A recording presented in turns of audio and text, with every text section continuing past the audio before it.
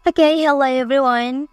Here I want to provide a tutorial on how to activate clipboard on keyboard on Redmi 13C device. Okay, let's go to the tutorial. First thing first, I'm gonna show you my keyboard display.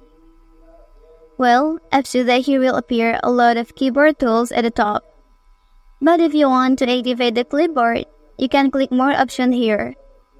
And then here please select clipboard option well, after that you can turn it on by pressing this button.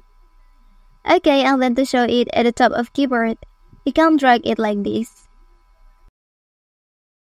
Well, that's the tutorial on how to activate clipboard on the keyboard on Redmi 13C device.